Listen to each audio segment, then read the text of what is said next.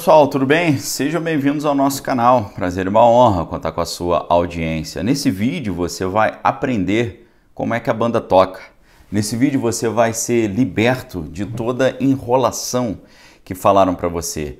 Nesse vídeo você vai ter um esclarecimento de como realmente as coisas acontecem e por que tudo é sempre encaixadinho de um jeito a você achar que tudo é natural, mas na verdade tudo faz parte de um mesmo plano, sempre para te dominar e usá-lo como ferramenta desse processo de ignorância, ok? É claro que eu quero convidar você também para estar conosco no Manual de Sobrevivência 2023. Primeiro link aqui embaixo, venha estudar conosco. A gente tem ali assuntos fundamentais para você saber nesse ano, como, por exemplo, educação financeira, realidade espiritual do final dos tempos, eh, os jogos de poder lá fora, como eles, eles influenciam aqui dentro, primeiro link aqui embaixo, tá? E a gente tem livros maravilhosos, fundamentais, que eu separei a dedo para vocês. Um desses é esse aqui, ó, Falácia Socioconstrutivista, ok? Para você entender por que, que a educação no Brasil tá como tá e como a gente pode mudar isso tudo. Primeiro link aqui embaixo, você tem o curso. Segundo link aqui embaixo, os livros, tá? Então, uh, vejam só. Olha que interessante. Eu já disse para vocês que uh, o pessoal quer forçar todo mundo a parar de comer carne. O sistema está totalmente empenhado nisso. E qual é o argumento? Por que comer carne é tão ruim? Porque faz mal para a saúde da pessoa? Não, o argumento não é esse. O argumento é que a carne, principalmente a carne bovina, para ser produzida, ela emite muito carbono.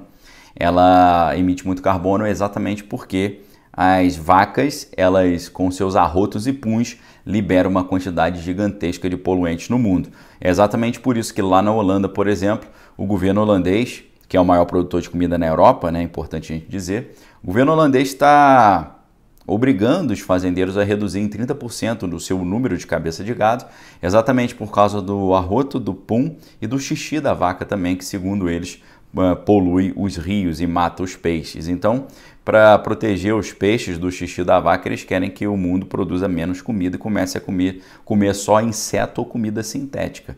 Se você duvida disso, bote na internet aí inseto Nicole Kidman, você vai ver Nicole Kidman, importante atriz ali, incentivando as pessoas a comerem insetos, tá? É isso que eles querem. Só que o que ninguém sabe, é, pelo menos o, quem não leu o meu livro A Beira do Abismo, Geopolítica, Globalismo e Fim do Mundo, ou quem não acompanha os meus vídeos aqui no canal, Uh, quem acompanha o material, quem acompanha os, os meus vídeos e o, o, os livros também, sabe que tem uma solução muito simples para isso. Em vez de você ter que eliminar toda, todas as os bois e as vacas e acabar com, a, com o consumo de carne vermelha, você tem uma solução simples, que é você usar algumas algas que bloqueiam a produção de metano. Se você mistura algumas algas na ração dos bois e das vacas, você elimina quase que 80% os gases, seja do arroto, seja do pum, tá?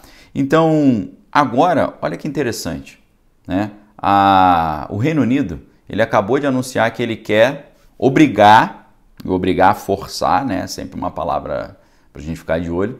O governo do Reino Unido quer forçar os fazendeiros a alimentar as suas vacas e bois com essa alga vermelha que tem bloqueadores de metano para uh, eh, impedir aí essa liberação né, dos gases poluentes. Só que aí, vejam só, dois meses atrás, antes da gente ficar sabendo que o governo do Reino Unido queria fazer isso, adivinha quem investiu 12 milhões de dólares numa empresa que produz exatamente essa alga vermelha que tem esse bloqueador de metano?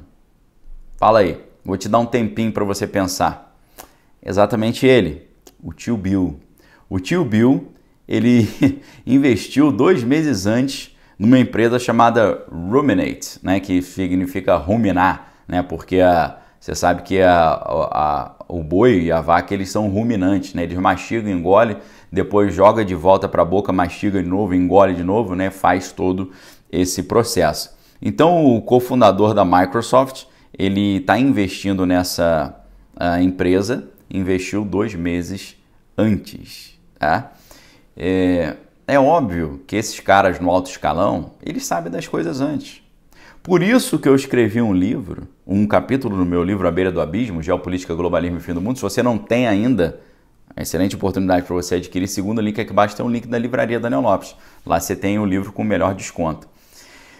É, é por isso que no meu livro ali eu falo para vocês sobre uh, os novos oráculos, os novos profetas. Esses caras desse alto escalão, Tio Bill da Microsoft, o Klaus Schwab lá do Fórum Econômico Mundial, é, grandes gestores de hedge funds aí, de fundos de investimento, esses caras sabem das coisas antes delas acontecerem e eles estão falando. E se você acompanha o que esses caras estão dizendo, você pode não apenas é, não ser enganado e não perder dinheiro, mas você pode sair do monte de furada, tá? Uma dica que eu estou dando para vocês aqui. Então, é, acompanhem o que esse pessoal está falando. E você sabe uma melhor maneira de você acompanhar o que esse pessoal está falando, para você se antecipar? Acompanhe o material aqui no meu canal. Clica aí embaixo no sininho das notificações. Se inscreva no canal, caso ainda não seja inscrito, para você receber todas as novidades, tá? Você sabe, quem acompanha o meu canal sabe. Se você viu isso lá em 2019, 18, 2020, coloca aqui embaixo um comentário. Quem aí acompanhou o vídeo que eu fiz no dia 23 de fevereiro de 2020, quando eu falei para vocês de onde que tinha vindo toda essa encrenca da crise sanitária e como em, em, outubro de 2019 eles já tinham feito uma simulação de uma crise sanitária global lá com, junto com a Universidade Johns Hopkins e a fundação do tio Bill e da Melinda, eles fizeram uma simulação de uma crise sanitária global né, um mês antes dela começar lá no Dragão do Oriente, que no Dragão começou entre novembro e dezembro de 2019. Os caras avisaram antes. O tio Bill, inclusive, em 2015, ele tinha feito uma palestra no TED falando sobre isso. Depois, em 2020, em abril, ele já começou a falar da crise sanitária 2, na segunda que viria. Em 2021, ele começou a falar sobre uh, qual seria esse novo agente. Ele falou da varinha, da varíola, né, da varíola. Em 2021 ele começou a já falar da varíola dos macacos. Tá? E depois uh, houve mais um exercício de simulação onde eles simularam que essa varíola dos macacos ia começar no dia 5 de junho de 2022. Foi nessa mesma época que o negócio começou a acontecer, só que eles falaram isso um ano antes. Então vejam só como tudo aquilo que você entende que é o mundo, as coisas que acontecem aleatoriamente, é uma grande fachada. Isso tudo é conduzido a dedo. Eles sabem é, muito bem conduzir tudo isso, porque eles olham para mim e para você como se nós fôssemos meras peças de um joguinho dele, que eles usam e jogam para cá e para lá ao seu bel prazer. Mas aqui no canal Daniel Lopes, nos meus livros, principalmente no livro A Beira do Abismo, Geopolítica, Globalismo e Fim do Mundo, eu mostro para vocês as coisas antes delas acontecerem. E eu continuo falando várias coisas antes delas acontecerem e você precisa prestar atenção. Muita gente está acordando, está entendendo. O que está para acontecer, Daniel, que ninguém está falando ainda? Você precisa muito estudar alguns termos. Prestem bem atenção. Pegada de carbono. Você sabe o que é isso? Você precisa aprender. Pegada de carbono é o desejo que eles têm de monitorar o que está todo mundo comprando e vendendo para impedir você de comprar certas coisas e controlar a sua, o seu consumo. Como é que eles vão conseguir controlar o que está todo mundo comprando e vendendo? A única maneira de fazer isso é transformar o dinheiro físico para o dinheiro digital. Então, para antes que aconteça a pegada de carbono, eles têm que introduzir a CBDC, Central Bank Digital Currency.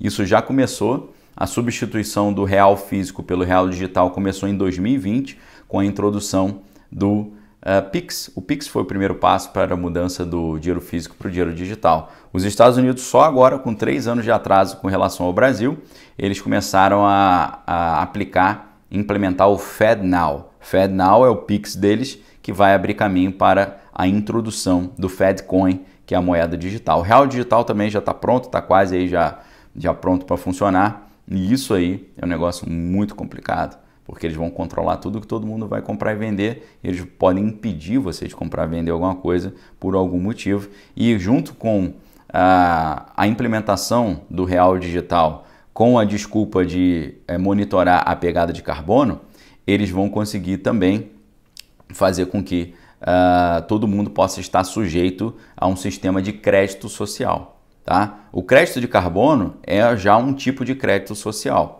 Então, crédito de carbono, pegada de carbono, crédito social, moeda digital centralizada, CBDC, identidade digital uh, biométrica única também. Tudo isso só vai acontecer dessa forma e aí eles vão reunir tudo num único procedimento onde a pessoa vai ter as moedas, o real digital dela, junto com a, o cadastro da pegada de carbono, do crédito social, da carteira, uh, da carteira sanitária e isso tudo vai estar na pessoa ali uh, num único lugar para que a pessoa fique completamente dominada. É isso que está acontecendo. Tio Bill sabe disso tudo, mas para quem acompanha, ele está dando a pista. E se você sabe que é assim que a coisa acontece, você já não vai bater palma para isso. Porque as pessoas estão batendo palma para as coisas que são prejudiciais a elas mesmas. Isso que é muito triste. Você, primeiro, conhecendo, não vai bater palma. Segundo, vai alertar as outras pessoas aí, porque você se transforma num agente de mudança na sociedade, ok? O que você achou desse vídeo? Deixe seu comentário aqui embaixo. Forte abraço, fique com Deus. Examine todas as coisas e retém que é bom. Valeu!